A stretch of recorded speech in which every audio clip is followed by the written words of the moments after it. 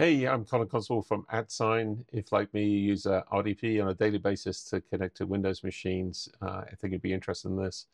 So if um, we look at my uh, RDP machine, uh, I'm using the Oracle Cloud. This is my Windows machine, and uh, this is the IP address of that machine. So I use this IP address uh, to get to the machine. So if I get up my RDP client, you can see there's that IP address and we're going to connect to it just by double clicking here and um, we should get connected. There we go. We get connected, get logged in, and now I can do all my Windows work and uh, life's good.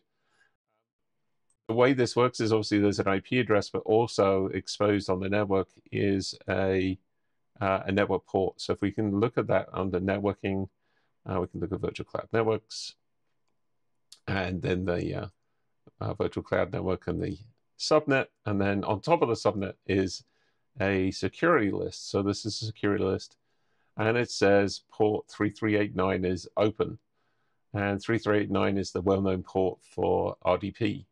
And you'll also notice that the source address is not specified, 0.0.0.0.0 uh, slash 0 means any IP address can reach this uh, port number 3389, which is great for me when I'm on the road. I don't know what my IP address is going to be. I could be anywhere in the world and it means I can connect to my RDP service. Great. But it also means that bad actors can connect to it and uh, they could be tapping on the door or causing all sorts of horrible, bad uh, things on my RDP server. I don't really want that to be going on.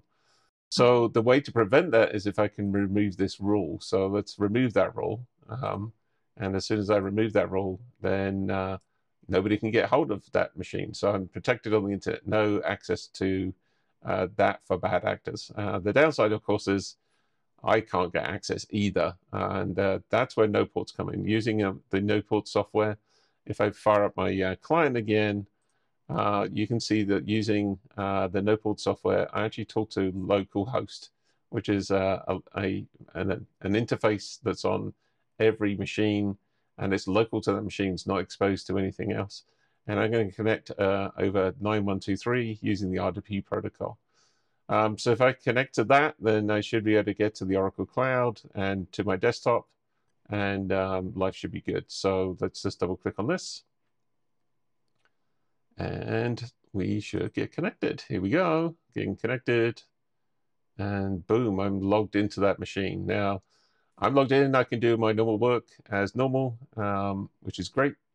Uh, but any bad actors, they don't even know it's there. That port's not open. Nobody can reach that IP address. Uh, I don't even need the IP address open on the internet. So that is NoPorts. You can try it for yourself uh, with uh, our software at noports.com and um, look forward to you trying and uh, getting some feedback from you all. Thank you.